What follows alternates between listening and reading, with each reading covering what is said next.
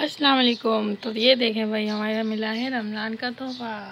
ये देखो, कितना क्यूट क्यूट इसकी मम्मा है। ये तो बतख है। दो छोटी छोटी बेबीज़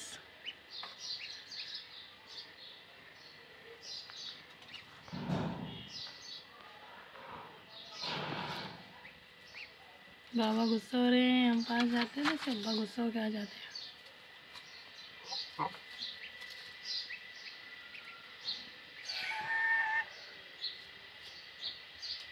बारिश और धूप से बचने के लिए हमने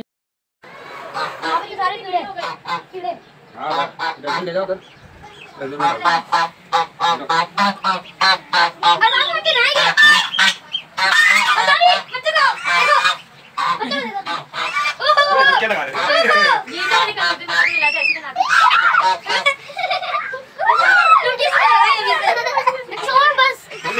करो अरे इधर ही ये चाहिए है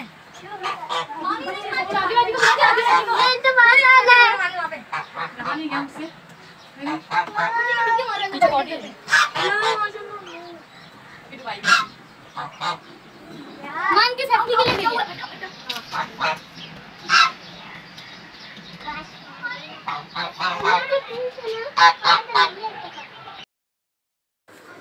तो आपने देखा, ये थे हमारे बत्तख, जिन्होंने ये ये जो दो हैं, फ़िलहाल ये यहाँ पे इनके बच्चे नहीं हुए, ये पुरानी वीडियो है।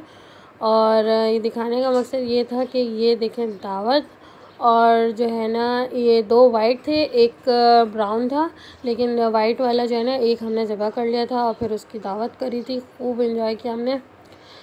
खैर दावत में उसके बाद दावत में जो थी मीठा भी था और मीठे में बनाया था हमने मज़ेदार सी शीर खुरमा। तो शीर खुरमा जो है बहुत मज़े का बना हुआ था। ये थी दावत। अच्छा कहने का आ, स्टोरी ये सुनानी थी आपको कि भाई हमने लिए थे तीन बत्तख उसमें से एक वाइट जो हमने ज़बह करके खा ली थी तो दो बच गए थे। इन्होंने दिए अंडे और वो देखे हमारी बेगम साहिबा जो है वो बैठी हुई है अंडे में और माशाल्लाह माशाल्लाह इक- इक्कीस से बाईस या अट्ठाईस दिन के बाद जो है, माशाल्लाह बेबीज़ निकले थे। और बेबीज़ आपने पीछे वीडियो में देख लिए। और बेबी जो है तो इतने क्यूट थे कि हमारा जो है ना, इनसे दिल लग गया था और इन्हें भी हमसे मोहब्बत हो गई थी। देखें, हमने जो है ना, कोई ऐसे घर वर नहीं बनाया हुआ, बस ऐसी टेबल वेबल लगा के हमने रास्ते पे जो है ना, इनको, ऐसा इनका छोटा सा हट बना दिया था इनको। और प्लास्टिक लगा दी थी ताकि बारिश वगैरह हो तो उसमें भीगे नहीं, खैर तो नहाते बारिश में इंजॉय करते हैं, इनके लिए तो कोई टेंशन की बात ही नहीं थी।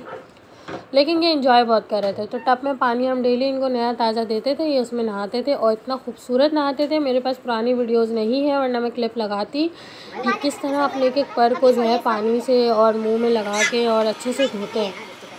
सो शाम का टाइम था, हम इनके साथ इंजॉय कर रहे थे। और इसमें से जो एक बत्तख हमने ज़िबा किया था ना, उसकी मैं आपके साथ वीडियो शेयर करती हूँ कि हमने उसको किस तरह ज़िबा किया, कैसे हमने उसको काटा और फिर उसकी कुकिंग करी, उसको खाया।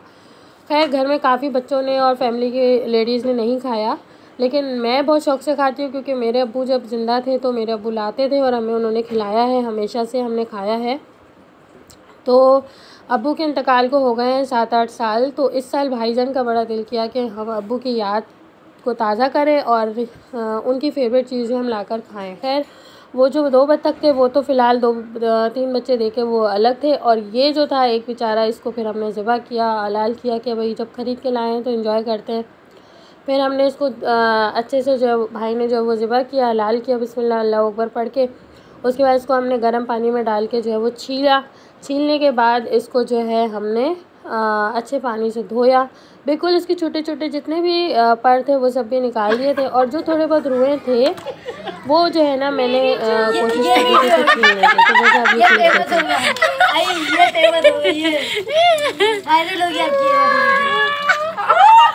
क्या कर रहे हैं आप लोग? मरते मरे हुए तो यहाँ पर जो हमारे छत पे किचन था बस ऐसे किचन है वो तो वहाँ पे जो है मैंने इसको चूल्हा ही जलाकर इसको अच्छे से आग लगाई थी।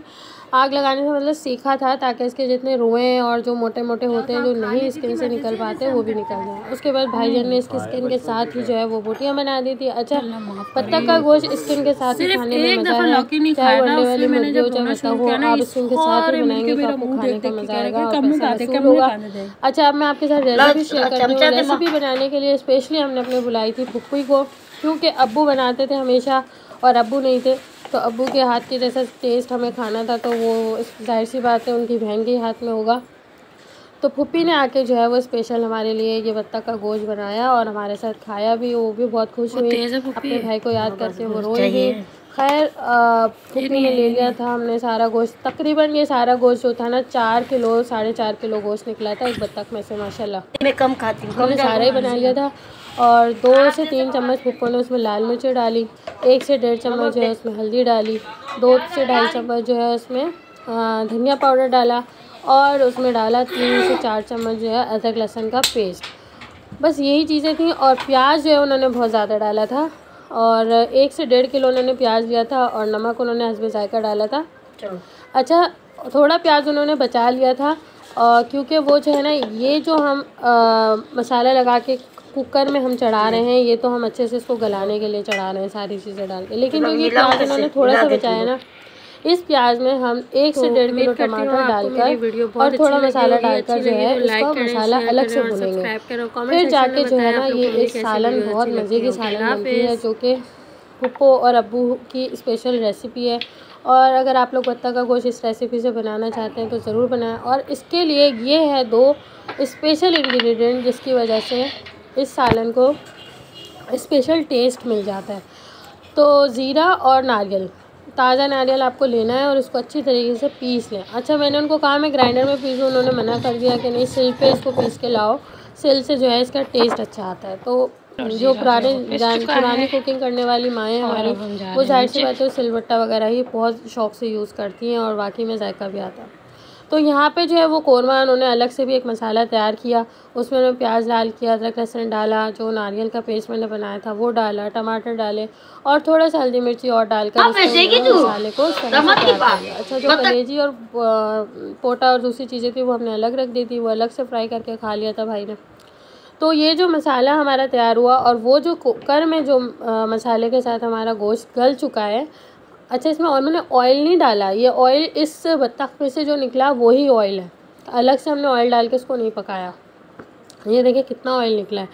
माशाल्लाह, बहुत हेल्दी गोश्त होता है। बच्चों के लिए वीक बच्चों के लिए बहुत अच्छा है।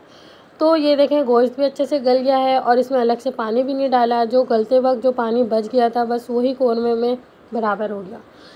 तो अब आप बताइएगा आपकी रेसिपी कैसी लगी? हमने तो चावलों के साथ दोपहर में सलाद के साथ खाया। अगर आपको मेरी रेसिपी अच्छी लगे तो लाइक शेयर और सब्सक्राइब ज़रूर करें। और कमेंट सेक्शन में बताइएगा कि आपको मेरी वीडियो कैसी लगी। अब आप इन बत्तखों की रुखसती की वीडियो देखें जो कि अम्मी अतकाफ़ में बैठी हुई थी और उनकी रुखसती हुई थी तो अम्मी भी बहुत रोई थी और अम्मी भी बहुत रोई थी क्योंकि उनसे बहुत मोहब्बत हो गई थी।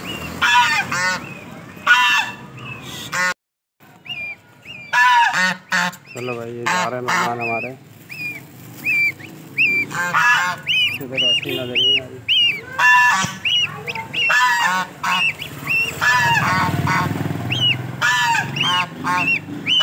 Ah,